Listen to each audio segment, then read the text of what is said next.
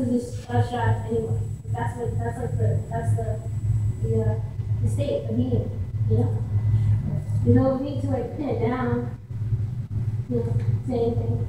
It's just kind of, it's an abstraction of itself. It's like every time you try to pin down what blackness is, it just like kind of, it doesn't evolve, it just like, because evolving means that there's this progression. There's like no progression, it's just like kind of like a, like a black hole that keeps like swallowing itself and stuff. And I like that.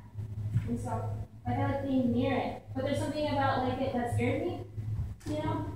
About like that, um, that nothing and everything. Um, and that like kind of lack of like subjectivity.